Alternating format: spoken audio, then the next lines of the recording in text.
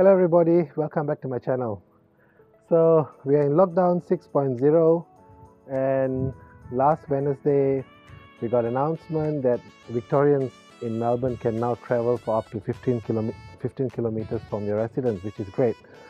Um, however, the weather this weekend doesn't look that all that flash. It's been raining and uh, it's sort of off and on with the rain this weekend so there's really not much you can do um, so I thought I will get on to something that I've been putting off for some time now, which is to talk about the mods that I've got on my V-Strom 650. Now, just to give you a bit of uh, background on this uh, this model here, this is a 2019 uh, Suzuki V-Strom 650 XT. Um, now, the XT model uh, comes with a bit of extras, which you get the uh, hand guards, you get the um, the belly pan uh, or engine shield and uh, you get the um, the rims the spoked rims as well. Uh, whereas the uh, the 650 um, standard 650 model does not come with uh, the shields and it comes with uh, standard sport rims. So um, I purchased the bike. It was a second I purchased it second hand it was about 10 months old when I got it it had only had about 3000 uh, odd kilometers on it. And um, when I bought it it was just stock standard uh, you would not recognize the bike uh, compared to what it is now. So um, I've done about 12,500 kilometers on the bike so far over the last uh, 12 months. Um, so I've done a lot of riding and it's been um, a really joyful bike to ride now also this is a LAMS version um, so it is restricted um, from memory the uh, full non-restricted uh, version has about 75 horsepower sorry whereas the uh, restricted uh, engine has um, close to 50 horsepower. Now from what I understand the uh, the torque is the same for both restricted and non-restricted model and you only rarely see the difference on at the higher ref range and also at the higher speeds when you're traveling at high speeds. Now the bike tends to lock up um, with the restriction that it's got it tends to lock up at about 7500 rpm so when you reach 7500 rpm that's sort of when it reaches its peak and it doesn't go any further. But having said that uh, you could quite comfortably take it up to about 140 150 kilometers per hour no issues at all. So it holds up on the freeways pretty well.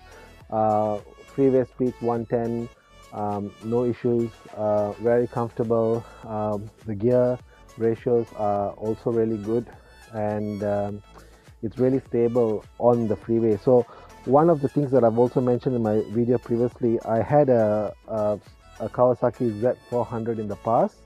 Um, and the issue that I found with the Z400 was that it was a very light bike and I found it really challenging riding on the freeways especially when it's really windy.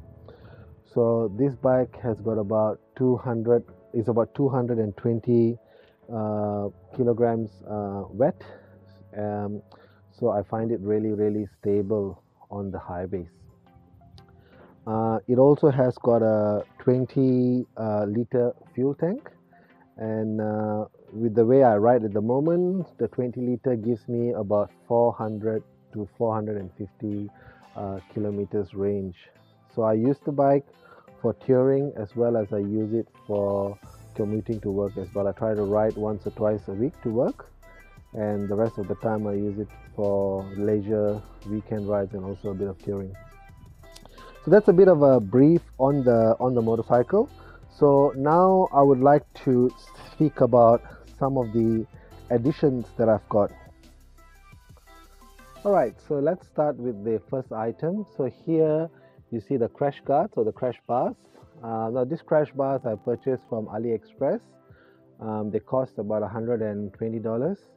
Uh, it took about three weeks for me to get it. They seem to be uh, pretty solid quality uh, when compared with uh, the other ones that I've seen my few of my other friends use. So for the price, I think um, the quality seems to be quite decent, and um, I've had uh, no issues uh, whatsoever uh, with these crash guards. Now basically um, in order to install them you mount it to the engine subframe on these two parts and then it sort of joins up just there and you go then you connect it to the other side. So all in all it took about close about half an hour for me to install it. So it wasn't that hard in the large scheme of things. Now the second thing that I want to talk about is the um, the radiator protector. I'm not sure if you can see it here.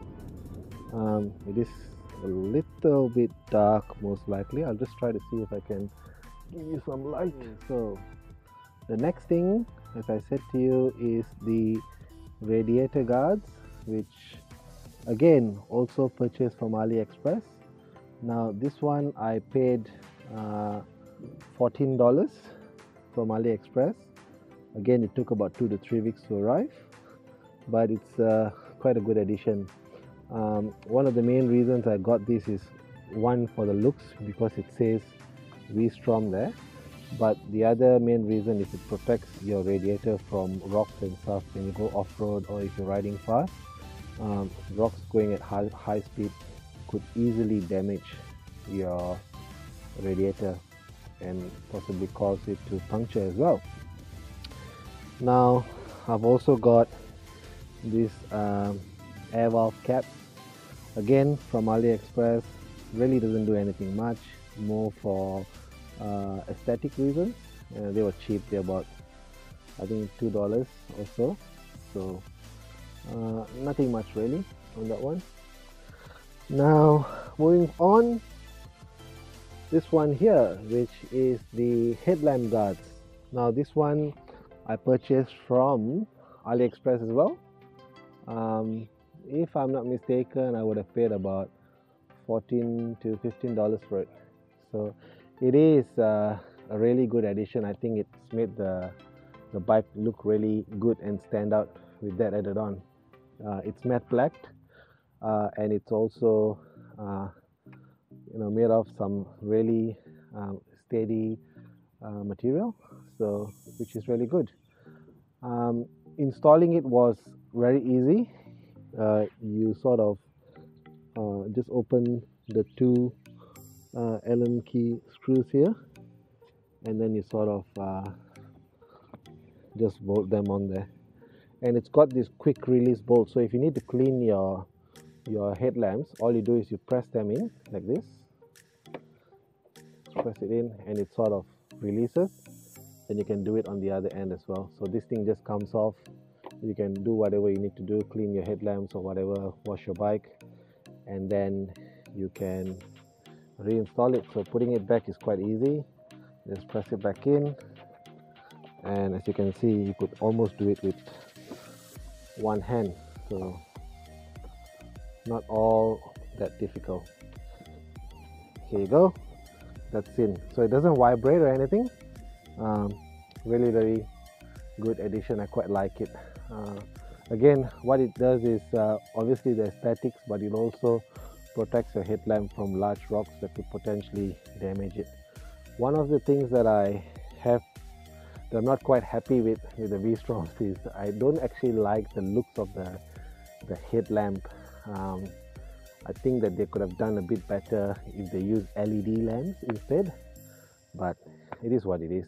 So that's a good addition for it. Now one of my biggest uh, gripes that I had with the motorbike was the buffeting that I had with the standard shield. And I did some research and um, based on my research I worked out that the Givi airflows are the best ones for you to get. And this I tell you has made so much of a difference to riding. No more buffeting no more headaches uh, whatsoever. So this one I got from Amazon. The links are in the description below I think I paid about $180 or maybe 100 between 150 to 180 I can't quite remember. It's been about a year now. Um, but really sturdy really uh, good material.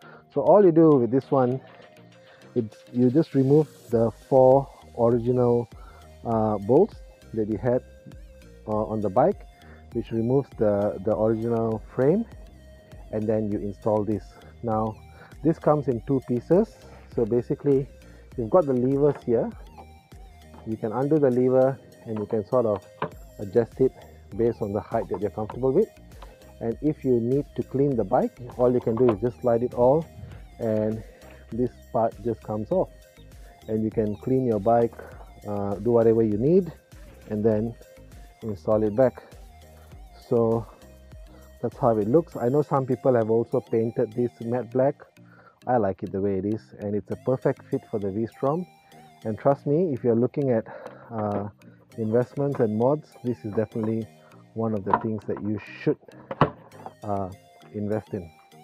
So as I said you can even adjust the the windshield uh, while you're riding because you can operate it with one hand and sort of um, although I don't think that's really advisable it's best that you stop and uh, make your adjustments.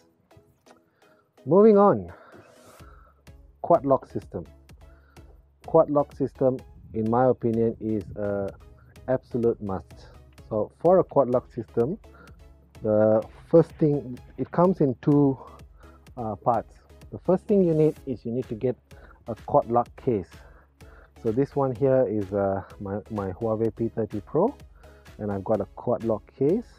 Um, it also comes with a poncho. Poncho is uh, a clear cover that sits on the top and uh, that uh, protects the phone from rain makes it waterproof. So quad lock case and then you get the quad lock accessory. So what we can see here this part here it's got a bit of a uh, cable running so that one there basically is you can see there's a USB connector down there. And what that does is uh, charges my phone. So it's a, uh, it's a quick fast charger. You attach your USB cable plugs onto your phone and off you go. So charges while riding. I've also got this bit here. Now this one is an optional accessory that you get from Quadlock. Now if you can see what's happening here when I'm moving this thing sort of absorbs the uh, vibration. So this is called a vibration damper that you can get from Quadlock. Now quad lock ad, uh, uh, advises that you actually get this uh, for your phones uh, on certain bikes. Um, the V-Strom is known to vibrate quite a little bit so uh, it is advisable if you are riding a V-Strom to get the vibration damper. So what this thing does is it protects your phone your camera on your phone uh, in which uh, the mechanic the mechanics of the camera uh, doesn't sort of get damaged. So definitely a good add-on.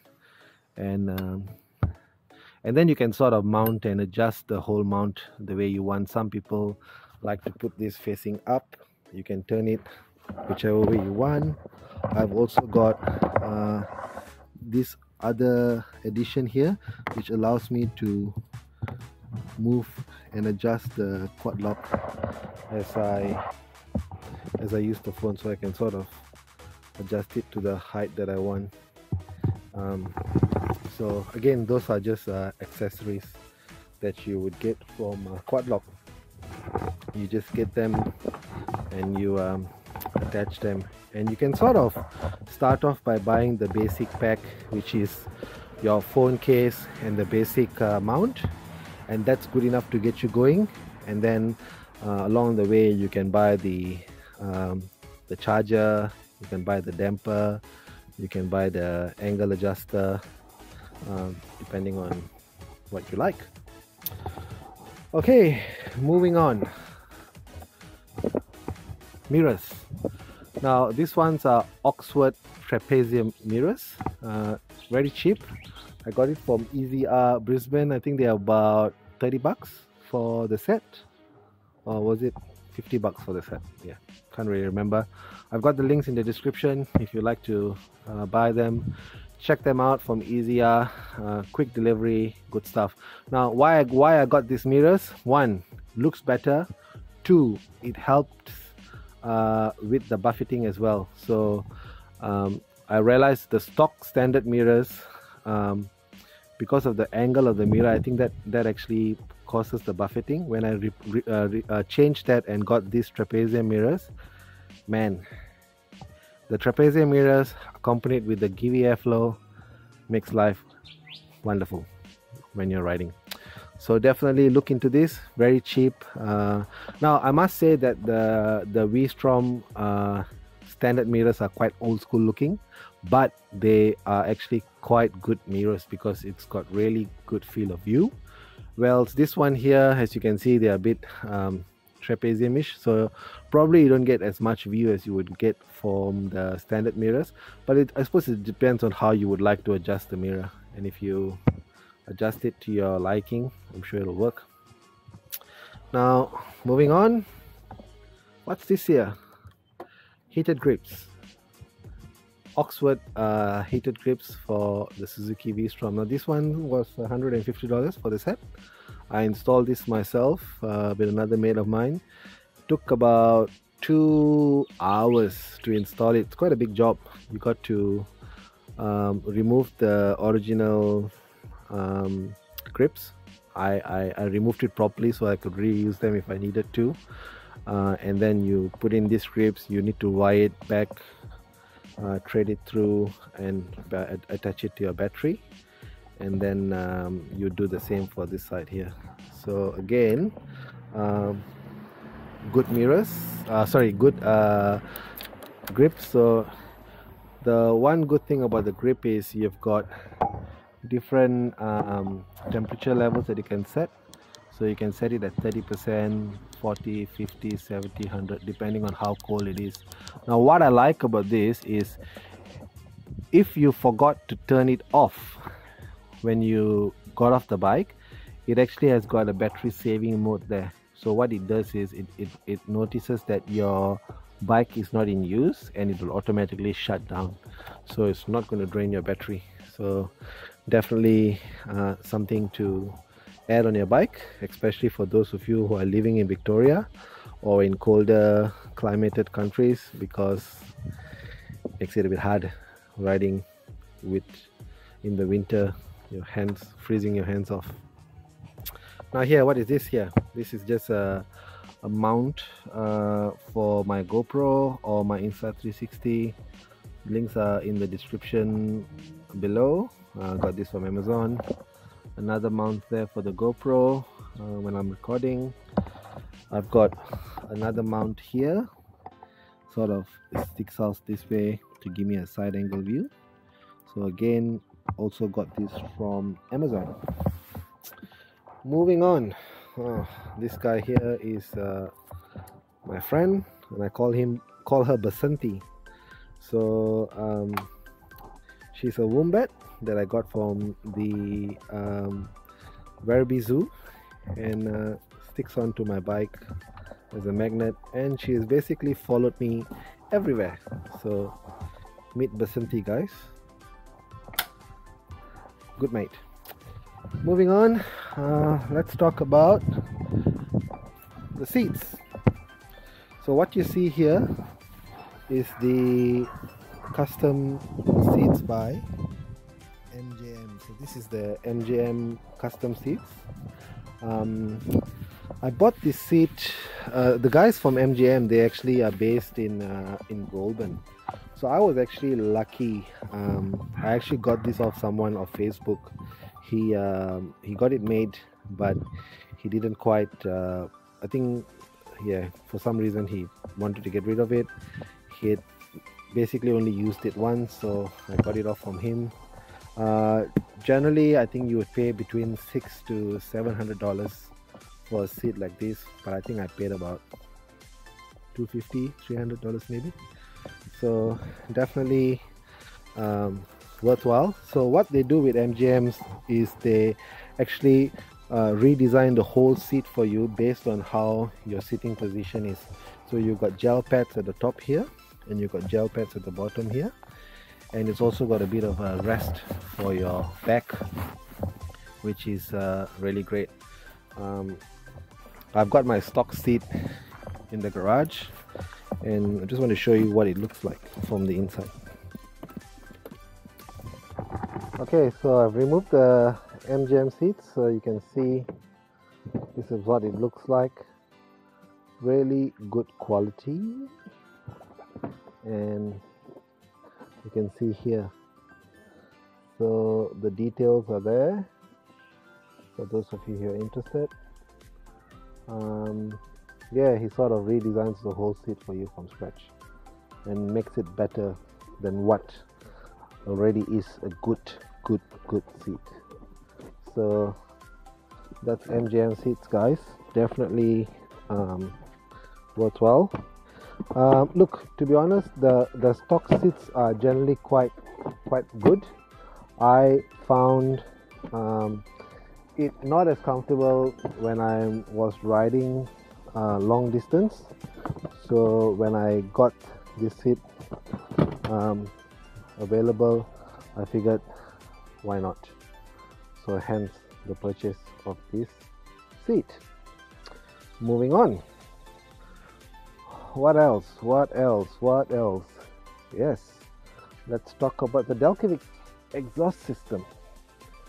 So here I've got the Delkevic 35mm I think exhaust system. So this is uh, it's basically um, a full exhaust system that joins halfway from about this angle this point here. So you use your your original header pipes and then it sort of connects uh, from I've got a video uh, on my channel on the Delkevic exhaust system and if you're looking at purchasing one and you want a step-to-step -step guide on how to install it please go on and view my video. I've got the description uh, the links to the video in the description as well if you are interested. Uh, what has the exhaust done for me? Well it has improved the low end grunt for sure. Um, not really much um, uh, difference in terms of high end. I do realize that the low end you sort of get a bit more better torque and grunt a little bit but at the high end it's the same. So again this is a LAMS bike. I'm not interested in you know doing much modification or get it restricted and it's an easy slip-on system.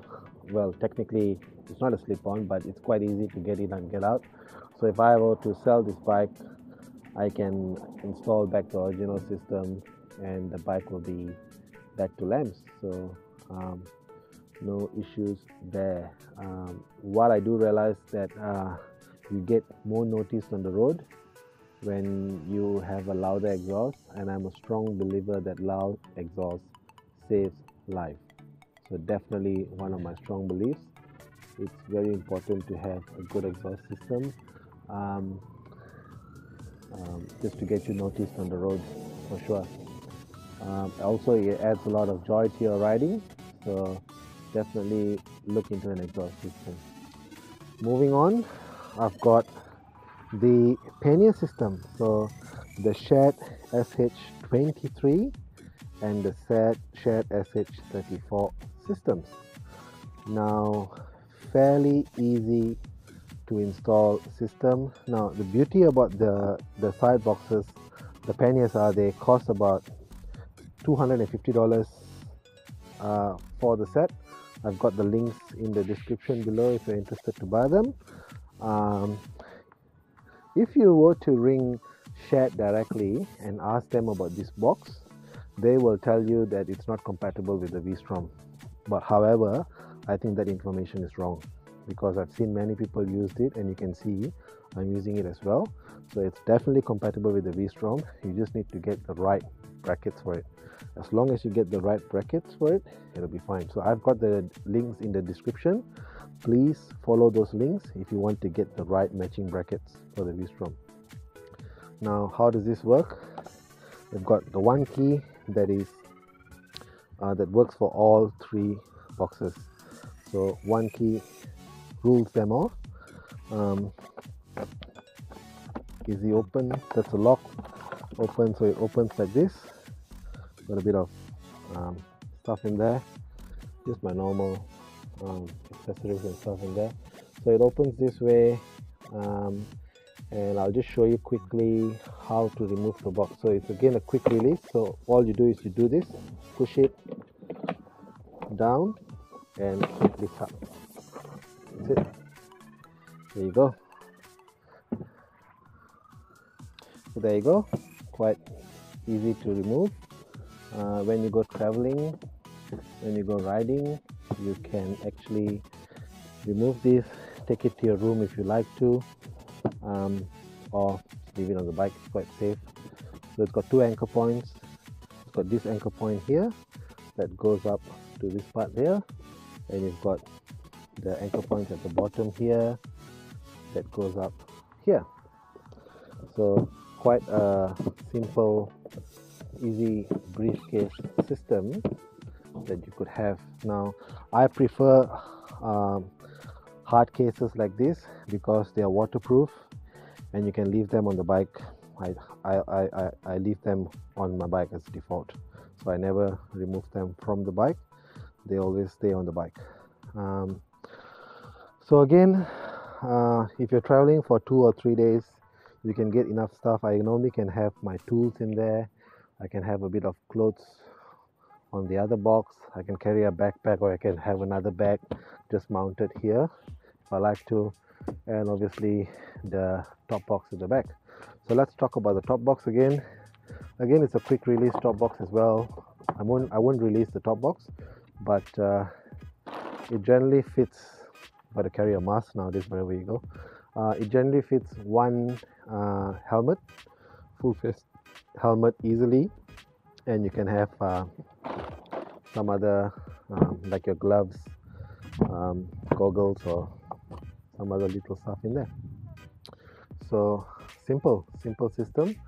Um, SHAD make good quality boxes. And um, I've had it for about a year now. They haven't decolorized. Uh, they still work the same. So definitely something to consider if you got an adventure bike.